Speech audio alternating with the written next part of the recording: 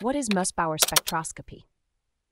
If you're curious about how scientists can peek into the inner workings of materials at a nuclear level, you're about to discover a fascinating technique called Mossbauer spectroscopy. Let's break it down. Mossbauer spectroscopy is a way to study the properties of materials by looking at how they interact with gamma rays. This method is based on the Mossbauer effect, discovered by Rudolf Mossbauer in 1958. The Mossbauer effect involves the emission and absorption of gamma rays by nuclei in solids without any recoil, meaning the nucleus doesn't move when it emits or absorbs the gamma ray. Here's how it works.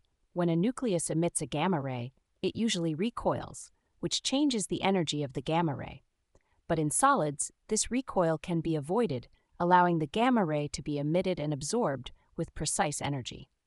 This precision is key to Mossbauer spectroscopy. During the process, a source of gamma rays, often containing a radioactive isotope, like 57, Co, is moved at different velocities using a linear motor. This movement creates a Doppler effect, which changes the energy of the gamma rays.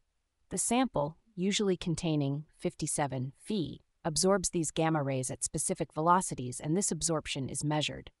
The resulting spectrum shows dips or peaks where the gamma rays are absorbed, which tells us a lot about the chemical environment of the nuclei in the sample. There are three main types of interactions that can be observed the isomer shift, which shows differences in electron densities around the nucleus, quadrupole splitting, which indicates electric field gradients, and magnetic splitting, which reveals the presence of magnetic fields. This technique is incredibly sensitive and can detect very small changes in the material's structure and chemical state. For example, it can determine the oxidation state of iron in a sample, the effect of different ligands on an atom, and even the magnetic properties of the material. Mossbauer spectroscopy has a wide range of applications. In geology, it helps identify the composition of iron containing rocks, including meteorites and moon rocks.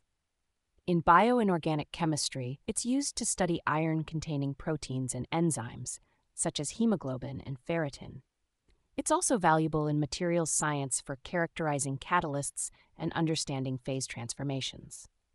In biomedical research, Mossbauer spectroscopy helps in studying the changes in iron containing biomolecules related to diseases and the effects of environmental factors on these biomolecules. So, Mossbauer spectroscopy is a powerful tool that lets scientists look at materials from the inside out, providing detailed information about their nuclear and electronic properties. It's a technique that has been instrumental in advancing our understanding of materials in various fields.